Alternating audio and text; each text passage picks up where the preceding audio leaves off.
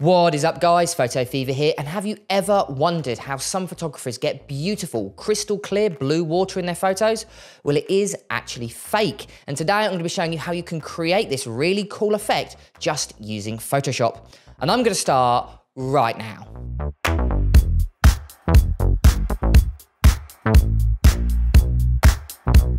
Right guys, so the first thing you want to do is make sure you've got water in your photo, obviously. If we're changing the color of water, make sure. Now it can be any color, uh, it can be black, uh, it can be green, which is the typical case we're using today. So uh, have a look to see if this effect works for you. So what we're gonna do is we're gonna open up our sample photo of, right.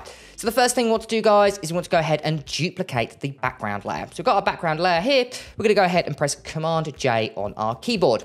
Once we've done that, we want to go ahead and activate smart filters. So we're gonna go up to filter, and we're gonna go ahead and drop down or convert to smart filters. This will allow us to change the effect afterwards in case you're finding it's a bit too strong or a bit too weak post creation.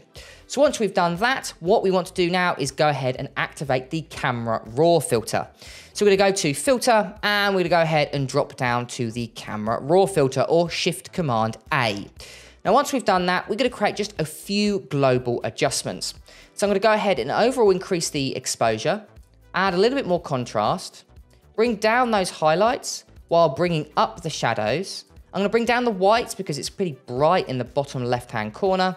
I'm gonna add a slight amount of texture, slight amount of clarity, and a tiny amount of dehaze, and then bring up the vibrance. Okay, but as you can see, the color of the uh, particular, the sea, hasn't changed. So this is what we're going to do. We're going to create a mask.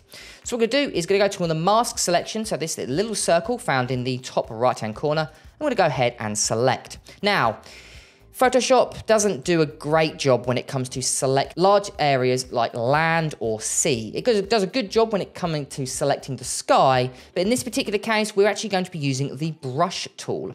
So we're gonna go to the brush tool here, and we're gonna go ahead and select a mask. Now you can change the size by scrolling up and down on your wheel of your mouse, and I'm gonna go for a size like so, I'm gonna just quickly create a very, very quick mask selection of the sea.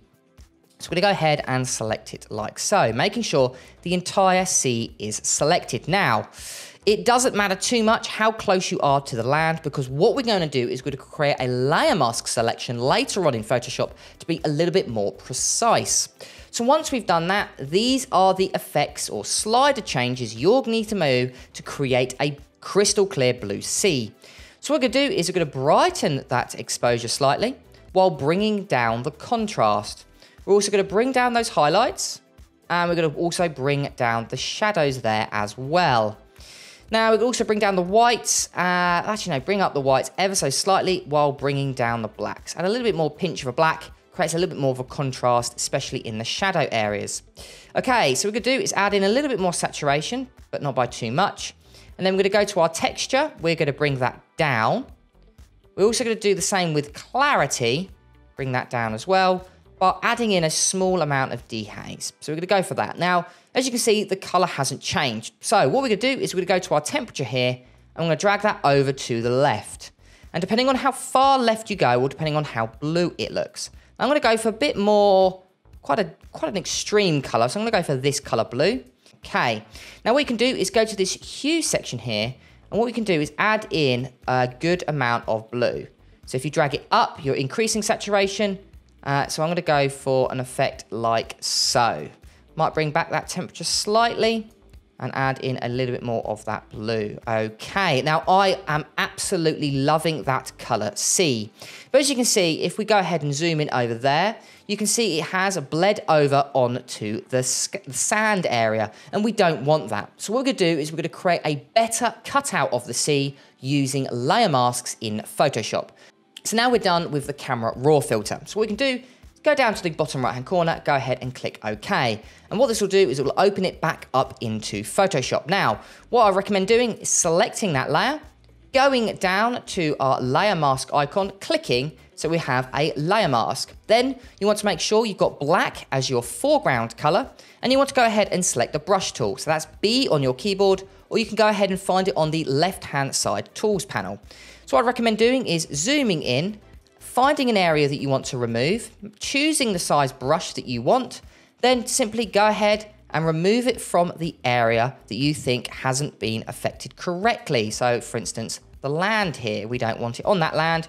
We've got these little rocks here and a little bit more of the sand around here.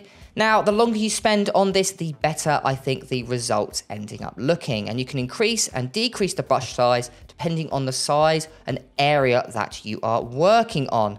But as you can see, it has worked quite nicely. Now, the reason I do it this way and not the other way is because the brush tool, especially in the camera raw filter, is quite finicky and it doesn't work great. It's good for selecting larger areas, but if you're trying to go around the rocks, you could spend absolutely hours where we have done it a lot quicker just using the layer mask tool found within Photoshop. So I recommend doing it this way other than doing that way or both results end up looking the same, but this way is just I find a little bit quicker. So what I can do is zoom out and basically show you the before and after. So this is the before, and this is the after. And I must say, I absolutely love this effect. You'll see a lot of Instagram users use this, a lot of travel photographers do it, because seas end up looking quite green or sometimes quite grey. So you can add in a nice punchy amount of crystal clear blue water to your photos. Here is the before, and here is the after.